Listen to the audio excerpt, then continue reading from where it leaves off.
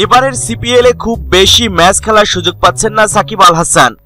ইতিমধ্যে তার দল বার্বাডোস টাইন্ডন্স সাত ম্যাচে ছয় পয়েন্ট নিয়ে পয়েন্ট টেবিলের পঞ্চম স্থানে অবস্থান করছে। অবশ্য দল ফাইনালে উঠলে ম্যাচ বাড়বে। ইতিমধ্যেই সাকিব আল হাসান দলের সঙ্গে যোগ দিয়েছেন এবং সেটি ফলাও করে ছাপিয়েছে ক্যারিবিয়ান প্রিমিয়ার লিগ সিপিএল এর ফেসবুক পেজ। সাকিব আল হাসান দলের সঙ্গে যোগ দিলে লিগ পর্বের চারটি ম্যাচ খেলার সুযোগ পাবেন। এমনটি প্রথম থেকে ধারণা করা হচ্ছিল।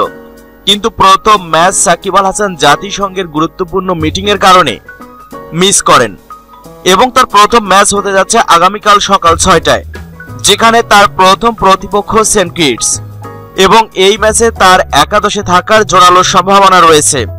এরপর তিরিশেই সেপ্টেম্বর সাকিব আল হাসানের দল বার্বাডোজের প্রতিপক্ষ সেন্ট লুসিয়া জুকস। ম্যাচটি বার্বাডোজে শুরু হবে বাংলাদেশ সময় ভোর চারটায়। তারপর ত্রিনবাগো নাইট রাইডার্সের সঙ্গে লড়াই। তিন অক্টোবর ম্যাচটি শুরু হবে ভোর পাঁচটায়। এদিকে সিপিএল এর একটি নির্ভরযোগ্য সূত্র সাকিব আল হাসানের দাম ফাঁস করেছে। সাকিব আল হাসানকে বার্বাডোস ট্রাইন্ডন্স দলে নিয়েছে এক লক্ষ দশ হাজার ইউএস ডলারে। বাংলাদেশি মুদ্রায় তার পরিমাণ প্রায় সাতাশি লক্ষ টাকা। এদিকে আগামীকাল রবিবার বাংলাদেশ সময় সকাল ছয়টায় শুরু হবে বার্বাডোস এবং Saint Kitts and Nevis Patriots এর মধ্যকার আসরের পঁচিশতম ম্যাচটি। এই ম্যাচে সাকিব আল হাসান মাঠে নামার কথা রয়েছে। তিনি ছাড়াও দলটিতে আছেন Jason Holder, JP Duminy, Alex Hales, Shai হোপের মতো তারকা ক্রিকেটাররা।